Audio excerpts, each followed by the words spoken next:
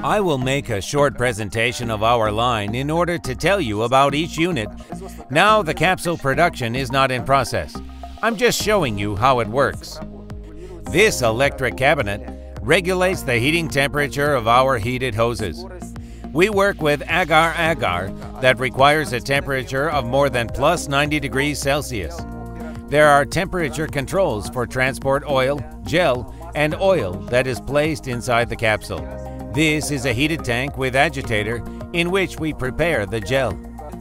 All corners are rounded, ensuring easy cleaning and washing in accordance with GMP standards. I'd like to highlight that all components are made in Germany. We use two tanks in our encapsulator.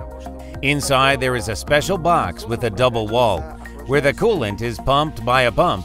We are open to everyone and will be happy to show you how our equipment works.